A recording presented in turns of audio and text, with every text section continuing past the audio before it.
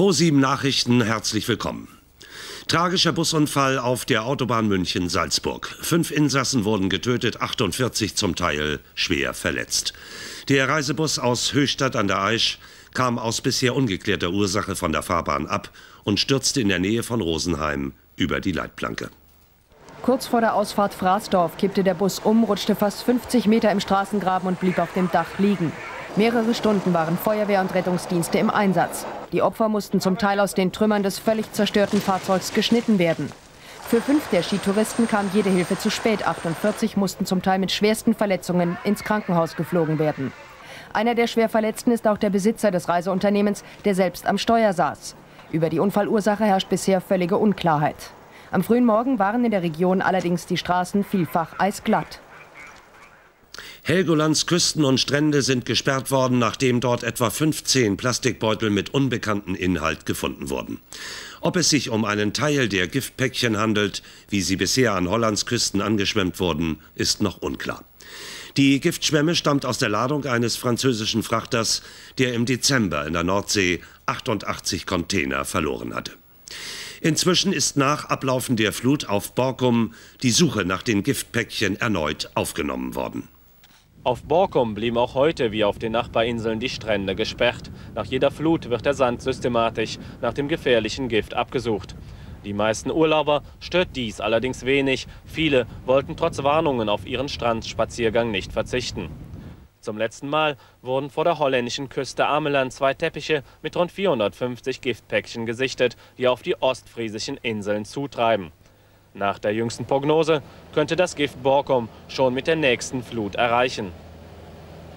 Man kann davon ausgehen, dass sich ein Teil der Päckchen vor Borkum befindet und möglicherweise jetzt mit der Flut entweder auf die Nachbarinsel zuströmt oder ins Wattenmeer hineinkommt.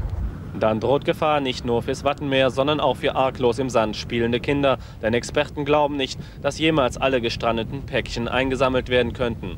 Auf Borkum wird nun befürchtet, dass ein Teil der Urlauber künftig ausbleibt. Dagobert ist nicht zu fassen. Zum zweiten Mal innerhalb einer Woche ist nun eine Geldübergabe an den Kaufhauserpresser gescheitert. Der Polizei fehlt weiterhin jede Spur. Nachttermin auf dem Güterbahnhof im Berliner Stadtteil Charlottenburg und der Täter gibt die Anweisungen. Ein selbstgebasteltes Fahrzeug auf einem stillgelegten Gleis soll die vereinbarte Summe über die Schienen zum Erpresser bringen. Aber der Minizug entgleist 30 Meter vor seinem Ziel. Wieder einmal greift Dagobert nicht zu, wieder entkommt er unerkannt. Seit nunmehr einem Jahr droht der Erpresser dem Kaufhauskonzern Karstadt mit Bombenanschlägen. Eine Million Mark Lösegeld soll ihm die Kaufhauskette zahlen. Bisher sind alle Übergabetermine gescheitert. Die Grüne Woche 94 ist vorbei. Zeit für die Bilanz. Über eine halbe Million Menschen kamen zum Messegelände unter dem Berliner Funkturm. Die Erwartungen der Veranstalter wurden in diesem Jahr mehr als erfüllt. Volle Hallen, hohe Besucherzahlen ließen die Kassen der Aussteller klingeln.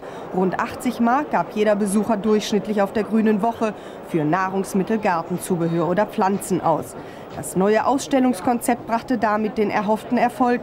Die ursprünglich als reine Verbrauchermesse gestartete Grüne Woche wurde auch für das Fachpublikum attraktiver gemacht. Fachtagungen und rein wissenschaftliche Veranstaltungen ermöglichten erstmals einen länderübergreifenden Erfahrungsaustausch der Landwirtschaftsexperten. Gerade mit Blick auf die neuen Märkte in Osteuropa sei Berlin nun ein idealer Standort für diese Messe, betonte der Geschäftsführer der Gesellschaft der deutschen Agrarwirtschaft, Antonius Niehaus.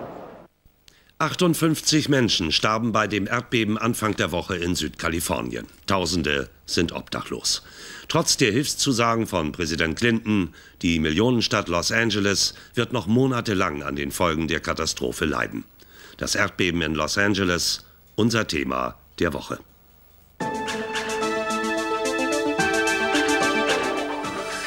Das jahrzehntelange Eldorado der Amerikaner, der Sonnenstadt Kalifornien, wandelt sich immer mehr zum Katastrophenland. Nach Erdrutschen und Waldbränden ist der Süden jetzt von einem schweren Erdbeben erschüttert worden. Dabei ist es für die Einwohner nichts Neues, dass die Erde in genau diesem Landstrich immer wieder bebt. Grund dafür sind die Plattenbewegungen auf der Erdoberfläche. So gehören die Küsten rund um den Pazifik zu den besonders gefährdeten Gebieten. Hier nämlich stößt die pazifische Platte auf die eurasische und die amerikanische Platte. An den Rändern kommt es immer wieder zu gewaltigen Kollisionen. Gesteinsmassen werden nach unten gepresst oder türmen sich zu hohen Gebirgen auf. Folge davon sind Vulkanausbrüche und Erdbeben. Los Angeles liegt an der sogenannten San Andreas-Verwerfung, die sich von San Francisco bis zur mexikanischen Grenze erstreckt. Doch trotz Tod und Verwüstung, die dort durch die gewaltigen Erdbewegungen immer wieder ausgelöst werden, die Bewohner der Megastadt sind noch einmal mit einem blauen Auge davongekommen. Denn der Big One, der große Knall, den die Experten schon lange prophezeien, hat sie noch einmal verschont. Zu gegenwärtig sind in der Bevölkerung die Bilder von 1906, als das bisher schwerste Erdbeben San Francisco verwüstete.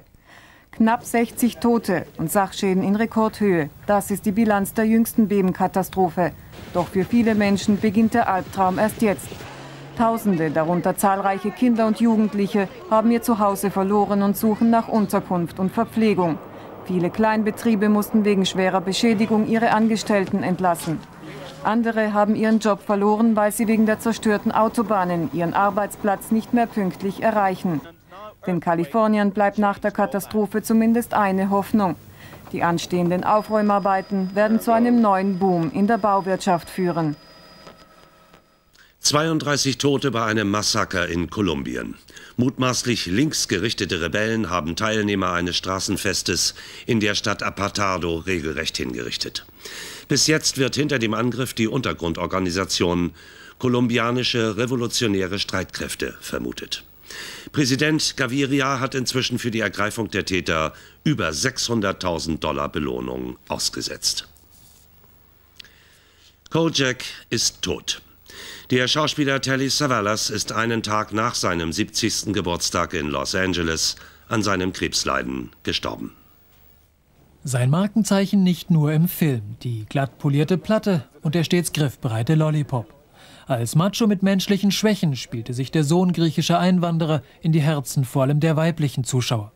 Eine Oscar-Nominierung blieb die größte schauspielerische Ehrung, abgesehen vom Hollywood-üblichen Stern im weltberühmten Walk of Fame.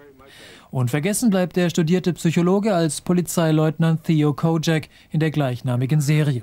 20 Jahre lang durfte er beim Einsatz in Manhattan den harten Mann mit dem weichen Kern spielen. Und das Wetter zum Wochenanfang.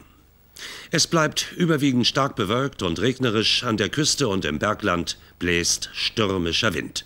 Die Temperaturen 4 bis 7 Grad. Das, meine Damen und Herren, waren die ProSieben Spätnachrichten. Auf Wiedersehen.